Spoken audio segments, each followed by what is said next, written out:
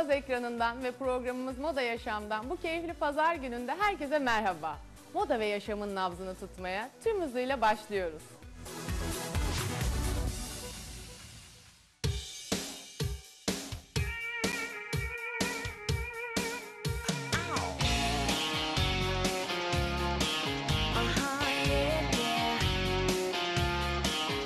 TRT Avaz ekranından herkese merhaba. 2014 yılının yaklaşan yaz aylarında moda ve yaşama dair ne varsa bu programda.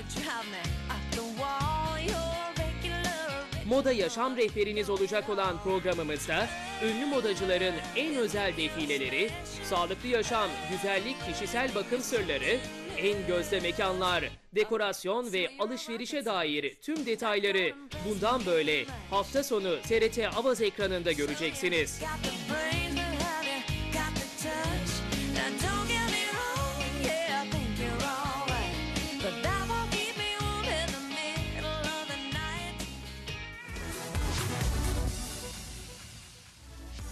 Röportaj mezuniyet hazırlığı yapan genç kızların oldukça ilgisini çekecek.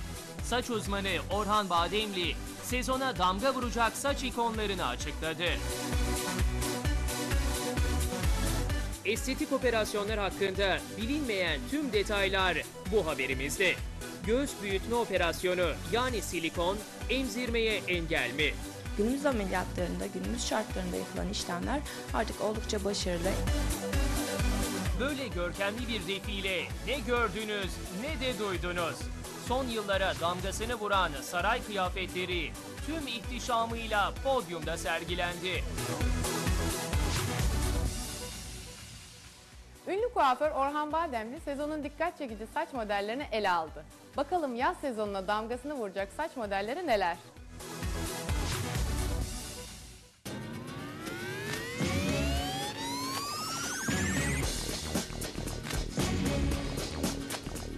Yanımızda ünlü kuaför Orhan Bademli var. Orhan Bey'den 2014 yılına damgasını vuracak olan saç ikonları hakkında bilgiler alıyoruz. Evet yanımızda e, ünlü kuaför Orhan Bademli var. 2014'ün ikonları neler efendim?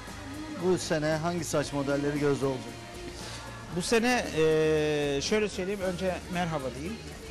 Eee, çok güzel biz birer örnek yaptık bu konseptle ilgili. Bizim Hairstyle Akademi Orhan Bademli olarak geçen eee, bu geçen sezonla bu sezon arasındaki bulunan yaz dönemi için yaptığımız şeylerde kahverengilerin içerisinde sarışınlıkları görmek istiyoruz. Yani şu anda kahverengi gördüğünüz gibi kahve tonu açarak sarı renklerle çok e, bunlar mezuniyet saçı. Kızlarımızın mezuniyet saçını hazırladık. Biraz abartı yapıyoruz. Biraz, Ha? Ama önce şeyleri sana anlatayım. Daha çok pembe renkleri biz benimsiyoruz bu sene. Yani pembe tonlar, sarının içinde pembeler. Res, saçlar. Sanki onları böyle serpiyorsun, pırıltı, pembe pırıltıları. Çok seviyorlar rujlar, tırnaklarında olsun. Anlatabiliyor muyum? Farlarında olsun. O pembe rujları yaşatmaya çalışacağız. Bu seneki yaz boyunca devamlı yapmak istediğimiz konseptlerin içerisinde pembeler. Kahvelerin içerisinde sarılar, kızıllar. Fakat bunlar biraz daha böyle sert renklerle yapmak istiyor. Yani blok halinde düşürmek. Mesela şuradan tek bir başına düşürmek. Ee, burada tam bir tane lap diye burada platin düşüreceğiz. Ama daha çok biz bunu pembe düşürmek istiyoruz. Anlatabiliyor muyum? Bunun içerisine bir pembe atacaksın. Müthiş. Sezonun trendi koyu rengin içinde ışıltı etkisi yaratabilecek bir başka renk. Çok açık bir rengin içine bir pembe atın. Bir pembe ruj sürün. Fuşya. Müthiş canlı ve şey. Şimdi şu anda Hazırlıklar devam ediyor. evet Bu hazırlıkları saç yapıyoruz. modelinin adı nedir? Şimdi bu biraz e, volümlü bir saç. Ekstra volüm diyoruz. Ekstra large diyoruz. Yani ekstra volüm, ekstra hacim. Bir ayağa kalktığı zaman dev bir kadın mesela. E, buyurun, buyurun, buyurun. Buyurun bebişim gel, gel. Şöyle yapalım, evet. Burada normal olarak e, işte bu şekilde hareketlerle saçta bir hacim sağlıyoruz. Bu onu daha güçlü hissettiriyor kendisinde. Hani o akşamın en popülist kızı benim demek istiyor. İşte Orhan Bademli'nin hazırladığı saç modelleri.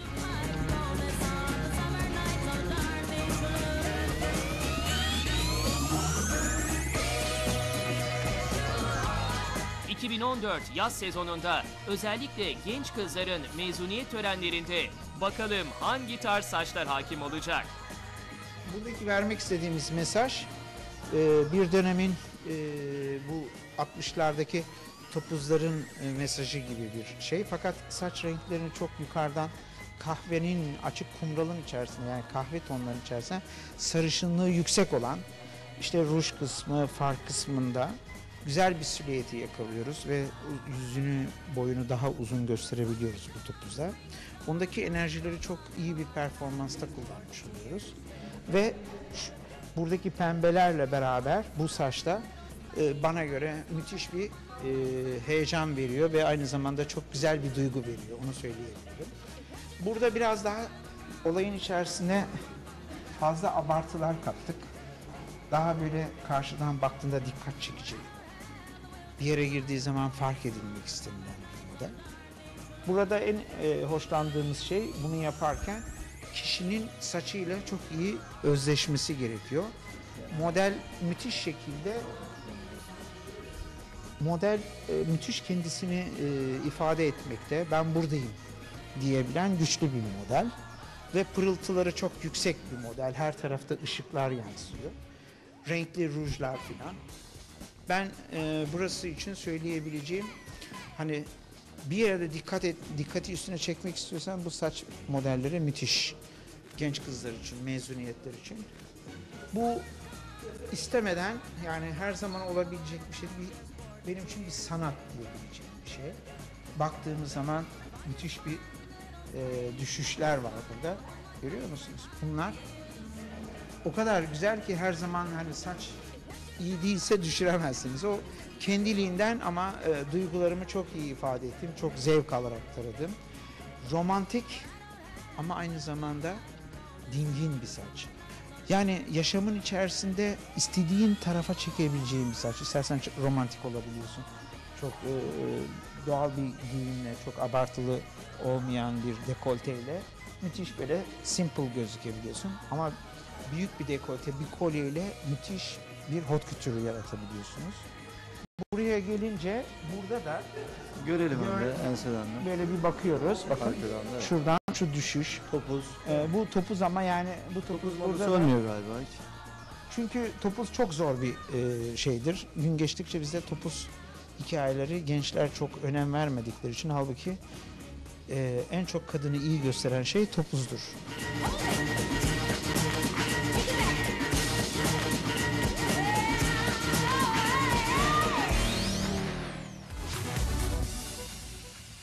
Estetik operasyonlar hakkında bilinmeyen tüm detaylar bu haberimizde.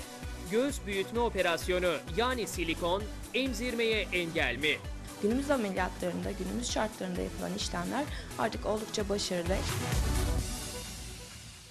Yaza merhaba derken plastik cerrahi uzmanı Esin Aksungur güzelliğin sırlarını verdi. Estetik cerrahi hakkında bilinmeyen tüm konular bu haberimizde.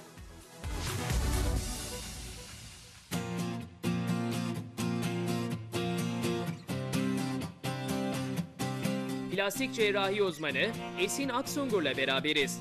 Esin Hanım, estetik operasyon hakkında tüm bilgileri aktaracak. Yaz geliyor.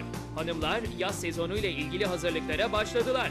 Yaklaşan yaz ayıyla birlikte hanımların fiziksel kaygısı da arttı.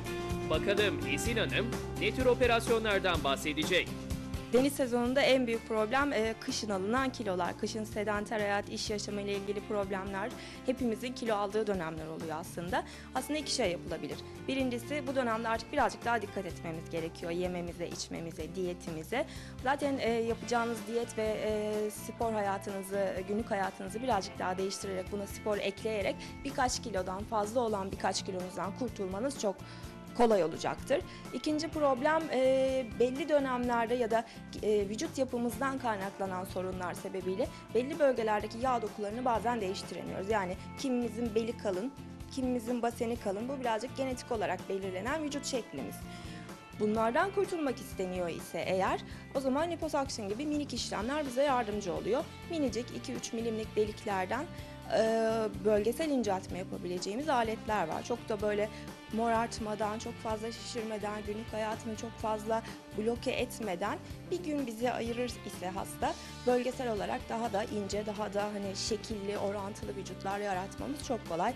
Beli inceltip işte baseni, bacağı inceltip hatta son dönemlerde aldığımız yağları gerekli olan mesela popoda eksiklik varsa beli inceltip, baseni inceltip aldığımız yağları da biraz popoya koyup popoyu kaldırıp gibi böyle daha şekilli vücutlar yaratabiliyoruz ve bunlar inanın çok böyle haftalarca hastanın yatmasını gerektiren, günlük hayatını bozan işlemler değil.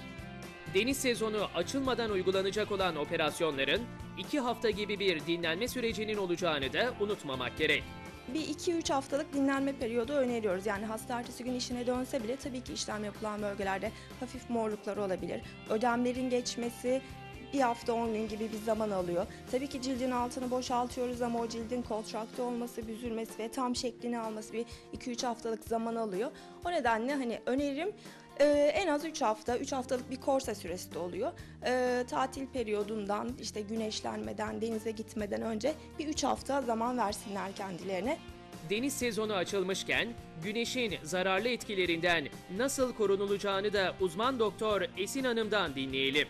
Öncelikle şunu söyleyebilirim ki mutlaka güneşe çıkmadan yarım saat önce e, en az 30-40 koruma içeren güneş kremlerini uygulamaları gerekiyor. E, denizde aynı şekilde mutlaka korunmaları gerekiyor. Önerimiz özellikle çocukların beyaz tenli ve ince tenli olan hastaların çok dik güneşin olduğu saatlerde denize girmemeleri, güneşe çıkmamaları birazcık daha kendilerini koruyabilirler.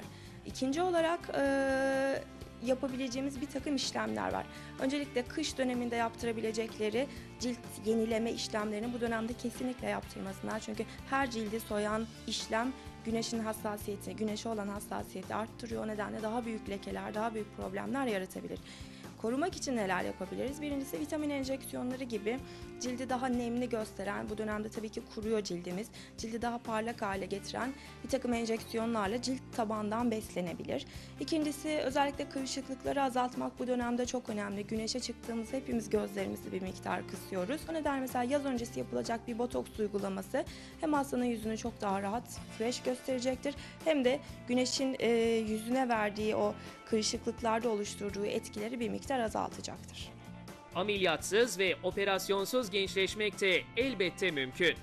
Bütün dünya büyük ameliyatlardan uzaklaşıp acaba daha küçük işlemlerle hatta ameliyatsız bu gençleştirme yapabilir miyiz, daha güzel görünebilir miyiz'e kaymış durumda. Bunun için en e, son dönemlerde çıkan botoks dolgu uygulamaları inanılmaz yardımımıza yetişti. Özellikle dolgu teknolojisindeki gelişmeler işte göz altına, göz üstüne, dudaklara, buruna gibi her alana farklı özellikte uygulayabileceğimiz dolguların gelişmesiyle beraber biz de e, çok gerekli işlemlerde tabii ki ameliyatları yapıyoruz ama onun dışındaki minik işlemleri yok ameliyata gerek yok gelin size dolgularla bunu halledelim diyebiliyoruz. Esin Hanım'a kadınların son yıllarda daha çok tercih ettiği göğüs estetiği hakkında merak edilenleri soralım. belli bir sarkıklıktaysa meme o zaman dikleştirme ameliyatıyla beraber protez koymak gerekiyor ama küçük ve dik bir memenin altına protez koyabilirsiniz. Herhangi bir yaş sınırı yok. Hamilelik öncesi ya da hamilelik sonrası diye bir ayrımımız yok. Yalnızca hamilelik döneminde tabii ki ameliyat yapmayacağımız için o dönemi önermeyiz. İlk 8 aylık emzirme döneminde süt verdiği için önermeyiz ama onun dışında her dönemde yapılabilir. Öncesi ya da sonrası gibi bir ayrımımız yok. 18 yaşını dolduran her bayana eğer göğsü uygunsa bu ameliyat için yapılabilir. Göğüs estetiği operasyonu emzirme sorunu yüzünden birçok kadının da korkulu rüyası haline gelmişti. Esin Hanım son olarak bu konu hakkında bilgiler aktarıyor. Silikon ameliyatları emzirmeye engel ameliyatlar değildir. Ee, özellikle günümüz teknolojisinde ve günümüz teknikleriyle uygulanan ameliyatlara baktığınız zaman göğüs altından ya da meme başından 2-3 santimlik kesiler, çok minik kesiler yapılarak e, uygulanabilen ameliyatlar. Son dönemlerin silikon teknolojisi artık değiştirmeye, eskiden 10 yıl sonra ya da 15 yıl sonra değiştirmemiz gerekebilir gibi şeyler söylüyorduk hastalara. Ee, o tür e, riskleri olmayan işlemler o nedenle günümüz ameliyatlarında, günümüz şartlarında yapılan işlemler artık oldukça başarılı, emzirmeye hiçbir şekilde engel olmayan işlemler. Ama tabii bundan 15-20 yıl önce yapılan işlemleri düşünürseniz tekrarlayan işlemler, tek başına meme protezi değil, meme dikleştirme ameliyatları ya da ameliyattan sonra var olmuş herhangi bir problem emzirme sorunları yaratmış olabilir. Ama tek başına silikon ameliyatı asla emzirmeye engel olan bir işlem değildir.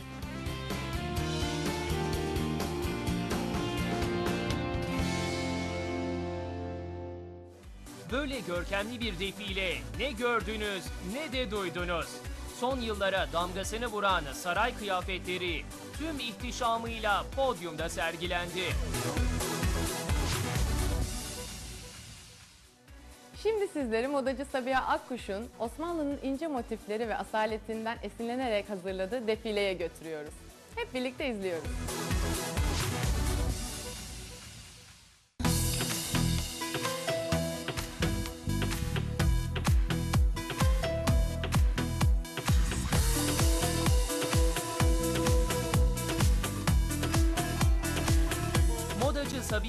Alakuşu'nun hazırladığı ve Osmanlı motifleri taşıyan bir defiledeyiz. Defile öncesi modacı Sabiha Hanım, defilenin en göz kamaştırıcı kıyafeti olan 9 ayaklı yılanı yani şahmaranı tanıtıyor. Efendim yanımızda şu anda e, önemli modacılardan bir tanesi var. Sabiha Alakuş. Kendisi bu gece Osmanlı motiflerinden oluşan e, kıyafetleri sergileyecek. Yanımızda da çok ilginç bir e, motifleri olan bir kıyafet. Evet. E, biraz anlatır mısın Sabiha Hanım? Tarihimizde efsane bir kıyafet. Ya yaşamış mı, yaşamamış mı tam belli olmayan bir şey ama tabii biz efsaneden yola çıktık. Bu efsane Tarsus Tarsus memleketinden geliyor. Biz de bunu hem hikayesini hem kıyafetini canlandırmış olduk. Bir ejder kafası. bu. Evet. Ayak- Dokuz, dokuz ayaklı yılan. Tarihte yaşamış mı böyle bir şey? Yaşamamış olabilir ama bir efsane. Bir Biz efsane. bu efsaneyi canlandırmak istedik. Efendim nasıl hissediyorsunuz kendinizi? Şu an bayağı bir gergin hissediyorum. Çünkü eee, içine girmek gerçekten zor. Ama mutluyum. Yani Üst taraf güzel ama aşağısı ürkütücü biraz. yani ama bunu giymekten eee, gurur duyuyorum. Ya tarihte eee, böyle bir olay yaşanmış ve ben bunu canlandıracağım. 1200-1400'lü yıllara uzanan Osmanlı kıyafetleri buram buram tarih kokuyor. Son yıllarda dizi sektöründe de sık sık kullanılan bu saray kıyafetleri oldukça göz kamaştırıcı. Sabiha Hanım, e, 1200'lere, 1400'lere doğru götürdünüz bizi Osmanlı devrine ait kıyafetler. Her dönemden bir kıyafet seçtik. Ee, sultanlarımızın kişisel özelliğini taşıyan renkler ve motifler kullandık kıyafetlerimizde. Ee, yapmış olduğum tasarımların içinde isimlendirdiğim birçok sultanımız var. Kendi özelliğini taşıyan. Ee, mesela bu Nurbanu Sultan, 2. Selim'in eşi. Ee, o dönemlerden motifler kullandım. Ve e, renkler de o dönemlere ait tabii. Ee, bu kıyafet de Gülbahar Hatun'un Fatih Sultan Mehmet'in eşinin kıyafeti. Gülbahar Hatun Sırp asıllı bir hatun. Tabii ki Fatih'imizle evlendikten sonra Müslümanlığı seçmiş. Peki e, işlemelerinden bahseder misiniz biraz? İşlemeler tamamen e, tarihi işlemeler, motifler otantik yani o dönemlerden motifler seçtim. Ayrıca renkleri de uydurmaya çalıştım ve bu Ne kadar e, sürdü? e, bunların e, motifler işlemelerinden tut e, dikimine kadar aşağı yukarı yani iki senemi falan aldı bu kıyafetlerin. Evet. Bu kıyafetlerin oluşturulması ve işlenmesi modacı Sabiha Hanım'ın tam 2 yılını almış. Sabiha Hanım, el emeği göz nuru kıyafetlerini tarihte yaşamış ve yaşadığı döneme adını yazdırmış sultanların ismiyle adlandırmış. Oraya geçiyoruz. E, Fatih Sultan, Mehmet. evet. E, gerçek samur kürkü bulamadıksa da normal bir kürk kullanmak zorunda Çok kaldık. önemli bir padişahı simgeliyorsunuz şu anda. E tabii doğal olarak heyecan var. Ama e, böyle güzel kıyafetlerin içinde sıkıntı yok benim için. Bir kere o dönemde gerçekten çok zormuş işler belli oluyor şu anda. Yani çok e, sıcak Fakat e, gerçekten çok heyecanlı ve gururluyum. Gurur duyuyorum ayrıca. Kıyafetin anlamının dışında modacımızın kıyafetini, kıyafetini taşımak bizim için ayrı bir özellik. Ee, hem iki yıl boyunca işlenen bir emek var bunun üstünde hem de modacımızın kıyafetini taşıyacağımız için şu an gurur duyuyoruz. Mankenlerin ve kıyafetlerin güzelliğine diyecek yok. Bir de motiflere bakalım. Osmanlı döneminde lale, papatya ve karanfil desenleri kıyafetlerde de izlerini bırakmış. Ayrıca kıyafetlerde altın ve gümüş renkleri hakim. Bu kıyafetimiz de Ayşe Hafsa Sultan'ın kıyafeti. Ayşe Hafsa Sultan Yavuz Sultan Selim'in eşlerinden biri. Yine dediğim gibi e, o dönemden renkler ve motifler kullandık. Evet tamamen işleme. E, bunlar şal desenleri. O dönemlerde kilim ve şal desenleri, lale, papatya, karanfil desenleri çok çok kullanılmakta. Biz hepsini kıyafetlerimizde kullandık. Gayet şık. Evet. Şu, şu dönemde bir de giyilir. Ne Evet diyorsunuz? tabii ki tabii ki renklerimiz. Bence de. Hürrem Sultan'ın kıyafeti. Ee, o dönemlerde altın ve gümüşü tel haline getirirlermiş. Simkeşhanelere gönderip kumaşta dokuma yaparlarmış. Tabii günümüzde bunu e, mümkün olmadığı için biz e, sim olarak kullanıyoruz. Erkek mankenler de defilede deniz leventlerinin kıyafetlerini taşıyacakmış. Deniz leventleri bu kadar süslü kuşak takar mıydı? Hayır efendim. Düz bildiğiniz e, bir patiska bezi sararlardı bellerine ama ben bunu günümüzde daha böyle parlak, defileye uygun bir şey, bir hal alsın diye e, motifli ve desenli parlak bir kumaş kullandım. Evet. Bu bir cariye kıyafeti. Haremin içinde evet. O da simli. e, Evet. e, O dönemlerde kuşaklar çok kullanılır. Fesler, kavuklar. Bunlara çok dikkat ettim. Yani bunlar benim için çok önemli.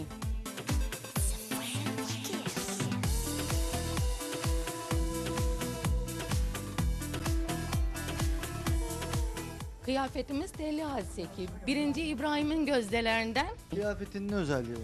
Kıyafetin özelliği çılgın olga- olmasını simgeliyor. Renkler e, tabii çok baş döndürücü renkler.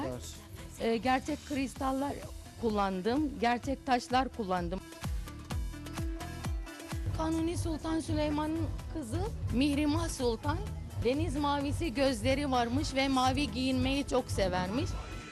Geçelim defileye. Mehter Marşı eşliğinde süzülüyor podyumda defilenin mankenleri.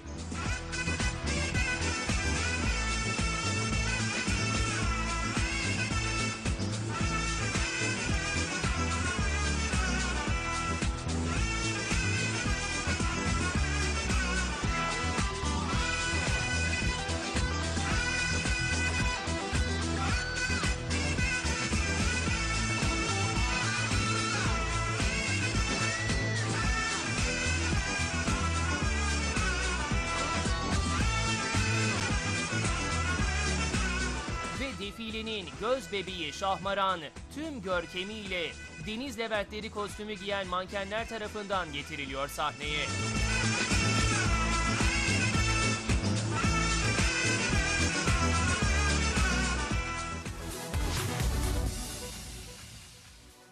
Ünlü sunucu, tiyatrocu ve dizi oyuncusu Erhan Yazıcıoğlu evinin kapılarını ilk kez ve sadece moda yaşam için açtı. Hep birlikte izliyoruz. Moda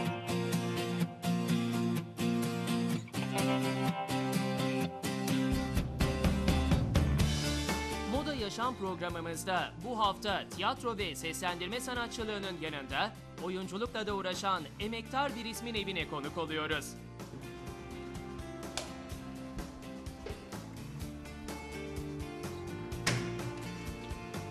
Merhabalar. Müsait misiniz? Hayır değiliz. Efendim TRT Havaz'dan moda programından geliyoruz ama Öyle mi? Sayın Hoş Bakanım. geldiniz de sizi kim çağırdı? eee, biz sürpriz yapalım istedik Hiç seyircilerimize. sevmem sürprizleri. Öyle mi? Hiç sevmem. İyi günler. Peki görüşürüz. Aa, kamuoyu. Peki. Değil mi? O zaman Buyurun. akan sular durur. Buyurun. Teşekkür ederiz. Ünlü sanatçı Erhan Yazıcıoğlu, Etiler'deki evinin kapılarını TRT Avaz ekranına açıyor. Erhan Bey'in evine girer girmez karşımıza çeşitli süs objelerinin olduğu bir konsol çıkıyor. Yani madem sürpriz yaptınız geldiniz biz her türlü sürprize açığız. Buyurun. Evet, Erhan Yazıcıoğlu'nun Etiler'deki e, son derece mütevazi evini e, gezeceğiz birlikte ama Krediyle alınmıştı ki yani daha borcu altını bitmiş. çizelim. Ha. Evin anahtarı burada asılı değil mi? Evet tabii bu e, yüreğimin anahtarı yüreğimin. Osmanlı'da var. değil Evet mi tabii yani anahtarı? var tabii böyle kocaman. Benim yürek de böyle yani öyle küçük yürek Peki değil. nedir efendim buralar böyle? E, bu bir e, göz değmesin, nazar değmesin diye çok saygı duyduğum bir ailenin hediyesi. Fil bereket herhalde değil mi? Fil, e, bereket, e, önden çekin, arkadan çekmeyin. Bereket. Gürültü bir şeyler görüyoruz böyle. Bu Öyle aksesuarlarımız var Londra'dan alınma, para biriktiriyorum. Kumbara, Yani sen bir gün evlenirsen sana buradan hediye çıkaracağım. Peki. Koridorun sonunda bizi yemek masasını da içinde bulunduran bir oturma odası karşılıyor. Çerçeveler ve duvardaki tablolar da hayli dikkat çekici. Biraz şey değil mi? Ee, Ne? Zevk sahibisiniz galiba. Estağfurullah Şey, biraz mı? bayağı bir zevk Ne biçim sahibi. konuşuyorsun sen? Bayağı bir zevk Sen çok sahibisiniz. değişmişsin Ayhan ya. Biraz falan diyor bana yani görüyorsunuz. Ee, sevgili seyirciler yani bana biraz dedi.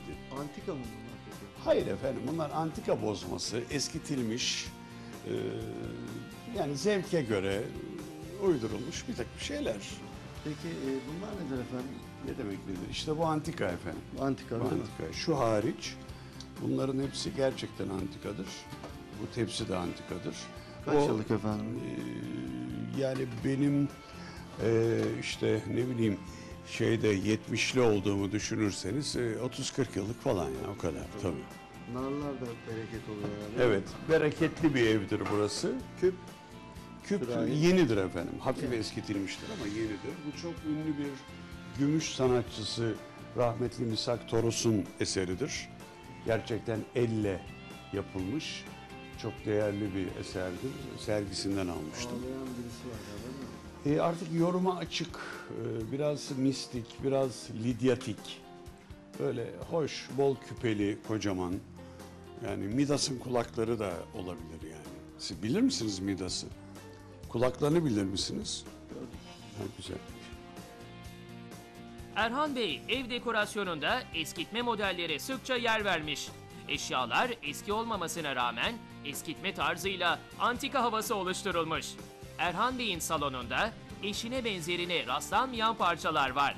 E, bu eski bir dolaptır ama çok eski değildir. Benim çok sevdiğim, zevkle aldığım. Bunlar da ev hediyelerinden birkaçı.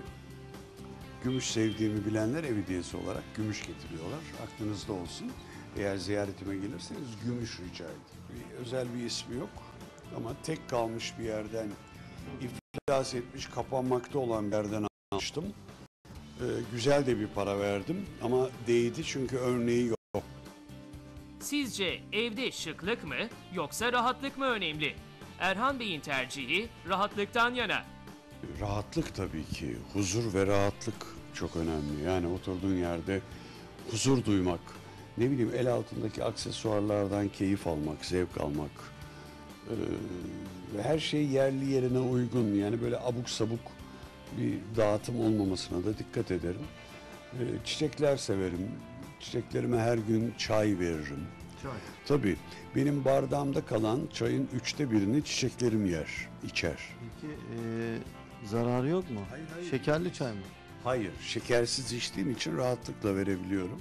Ee, Herkes bardağında kalan son yudumu, son damlayı çiçeklerine versin. Çiçekler çok memnun kalıyor, gelişiyorlar.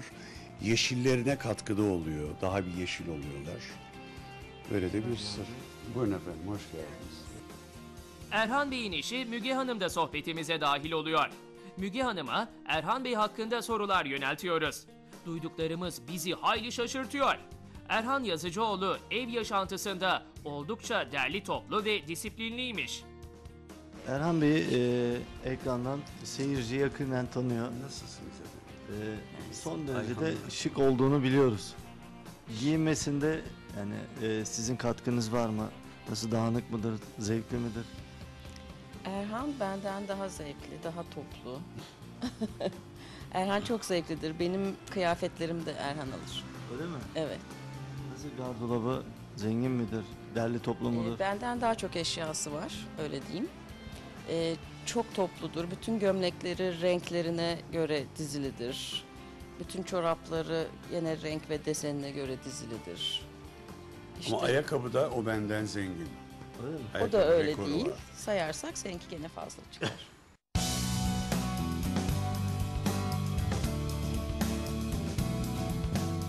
Erhan Yazıcıoğlu ve eşi Müge Hanım'la birlikte oturduğumuz koltuktan kalkalım ve Erhan Bey'in gardolabına doğru yol alalım. Erhan Bey'in gardolabı demek yerine giyim odası kelimesini kullanmak en doğrusu. Adeta bir modacının kıyafet atölyesinde gibiyiz. Ee, burası da efendim bizim giyinme odamız. Ee, çok fazla düzgün değil ama yine de fena değildir.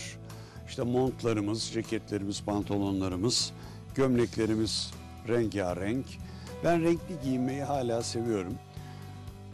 Ee, Peki bir şey söyleyeceğim. Buyurun. Yazıcıoğlu'nun mağazası diyebilir miyiz? butik yazıcıoğlu diyelim. Kadın erkek, e, çocuk yok. E, ama kadın erkek konusunda yani 15-20 kişiyi e, giydirebiliriz burada. Öyle mi? Peki. Bir mahalleye giydirelim. rahatlıkla rahatlıkla. Bir de çok şey veriyorum. Ee, yani kullanmadıklarımı, zayıfladıktan sonra bana bol gelenleri, e, yakın arkadaşlarıma, yani hakkıyla giyenlere mutlaka veriyorum. Soldan başlayalım isterseniz. Evet, Neler var? değerlendirecek. Buyurun efendim şöyle. Burada efendim atkılarım, kazaklarım, eşofmanlarım böyle aşağı doğru gidiyor. Bu tarafa atlayalım hanımefendinin eşyaları. Burada pardüsülerimiz, hanımefendinin pardüsüleri. abi. Burada kışlık ceketler, pantolonlar. Burada çeşitli Gömleğiniz yok mu? Var. Hiç yok gömleğim Yok mu? görüyorsun. Hiç yok. Erhan Bey yazlık birkaç kıyafet kombinini de seyirciyle paylaşıyor. Tercihi kırmızıdan yana. Bize böyle yazlık bir iki kıyafet gösterir misiniz? Bunları giyeceğiz. Yazlık mesela renkli mutlaka tercih edin. Renk Çıkaralım olsun. şöyle. Çıkaralım. Kırmızı mı? Şöyle bir kırmızı Her zaman mesela her zaman giyilebilir. İnsanın Neyle içini giyeceğim? açar. E, blue jean'le giyersin, kanvasla giyersin. e, bütün renklerle de giyebilirsin. şöyle. Bunun altına ne giyiyoruz? Cin mi? Jean olur, kanvas olur. Uydurur musunuz bize bir konu? E, hay hay e, çok şey istiyorsun ama e, neyse. Bunlar ceketlerimiz, Yok, yok, yazlık montlarımız. yapıyoruz, altına. Buyurun bu- burada. Evet. E, her şey olabilir. Şöyle olabilir. Bunun üçü de olur. Görüyorsunuz. Şöyle. Siyah. Rahatlıkla olabilir. Üçü de olur. Üçü de Bana olur. itiraz etme. Hayır. Üçü de olur. Üçü de olur diyorsak olur. Gözleri iyi görüyor mu? Hala görüyor. Erhan Yazıcıoğlu takı kullanmayı sevmiyormuş. Fakat saat takmayı oldukça seviyor anlaşılan. Takılarınız var Saatlerim- mıdır efendim? Yok efendim hiç takı kullanmam ama saatlerim saat vardır. yani. Saatlerime meraklıyım. Saatlerimi seviyorum. Kalemlerim var, özel kalemlerim. Bir gösterir misiniz? bize? Hay hay efendim. Ee, yok böyle bunları saklıyorum. Bunlar benim için anıları olan Özel hediyeler. hediyeler, gelenler, gidenler. Saatlerimi günlük değişik kıyafetime göre kullanmayı severim. Her gün aynı saati takmam, değişik saatler takarım. Marka takıntınız var mı? Hayır yok. Hiç marka ile ilgim yok. Öyle uçmak da istemem. Çok büyük paralar vererek saat aldığım çok rastlanmaz. Bir tane vardır. O da kasada durur. Burada ortalıkta durmaz. Şapka takar mısınız? Şapka çok seviyorum ama sıkılıyorum. Şapka beni sıkıyor. Ama yazın e, takıyorum. Yazın rastlayabilirsin bana. Bu sizin şapkalarınız mı? Evet hepsi benim şapkam. Siyah Bir ara ben politikacıydım. O, o dönemde bunu takıyordum. Tiyatroda değil mi efendim? E hayır efendim politika dünyasında bilmiyor musunuz? Ben eski bakandım ya. Dizide Bilmiyor bakan musun? olduğunuzu Ha biliyoruz. tamam. o kadar. Ondan sonra efendim bu kostümünüz. bir zamanlar e, matadordum. Bu da matadorken kullandığım bir şapkaydı. Beğendiniz mi? Böyle arkaya doğru atılıyor. Ondan sonra isterseniz böyle çok serseri bir şapka takılabiliyor. Erkek şapkası mı? Gayet Değil misin? benzemiyor mu? Yok. Öyle mi? Peki. Aa karımınmış hay Allah. Son olarak Erhan Yazıcıoğlu eşi Müge Hanım'a yazdığı şiiri okuyor. Tanımak istediğim sen, dokunmak istediğim sensin hayat, sen. Ne isterim ki senden, özgürlükse verdin bana yeterince. Sevgiyi tattırdın tadı damağımda. Kin nefret yoktu kitabında. Buram buram aşk tutuyor beni dimdik ayakta. Bekle dedim, bekledin. Beni kendine ekledin. Arada bir tekledin. Hayata çelme takıp kendini iteledin. E bazen kafamı ütüledin. Ne kadınmışsın be.